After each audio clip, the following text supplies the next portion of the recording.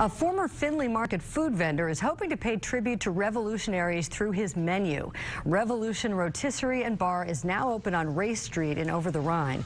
The menu is centered on rotisserie chicken, and he named sandwiches for heroes of the American Revolution. But the owner decided to take a larger look at people who are doing revolutionary things.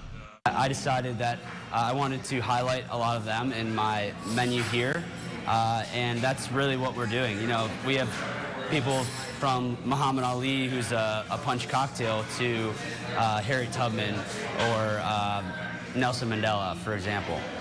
The restaurant also features punch-centric craft cocktails. For a further look inside the restaurant and a look at the menu, you can visit the Business Courier website.